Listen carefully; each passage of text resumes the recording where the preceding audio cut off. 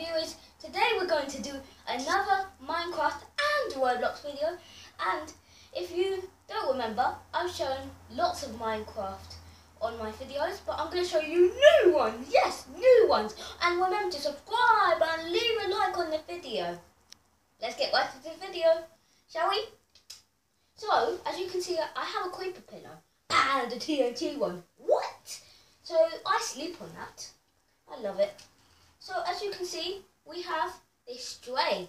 It's a mob from Minecraft and it and it's one of the newest ones. And it has a bow, but I can't put it in. I don't know why.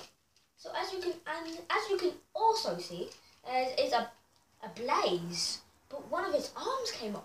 How dare you! And there's a body we have from like other videos, previous ones. And it's Steve. Say hi. Hi. So now um, a, a, a friend of mine gave me this. And I think it's really cool. It's a Roblox toy and it's called the Runner. These are all the Roblox toys you can get. Yes! And the other ones, yes. And I forgot to show you. A hat. It's a squid hat and look, it has the detail of the mouth. Oh, cool. But I have a DanTDM t-shirt. It's so awesome and sick. But I'm hoping to get a blue one.